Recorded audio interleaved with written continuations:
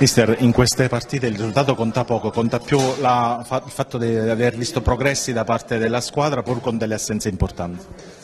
Sì, eh, queste sono partite che ci fanno bene perché giochi con squadre di categoria superiore e, e te la giochi alla pari. E abbiamo fatto sicuramente un passo in avanti eh, in confronto all'ultima amichevole. Sono molto contento perché in queste partite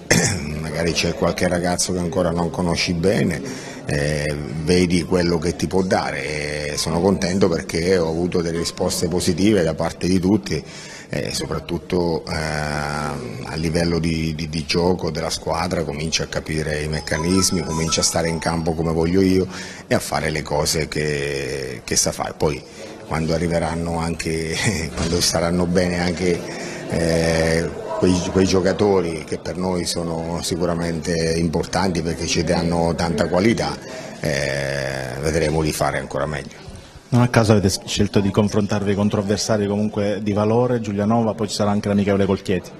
Sì, eh, io dico quello che dico sempre ai ragazzi, al di là de, de, de, dell'avversario noi dobbiamo andare in campo, provare a fare le nostre cose, perché poi se riusciamo a farle anche con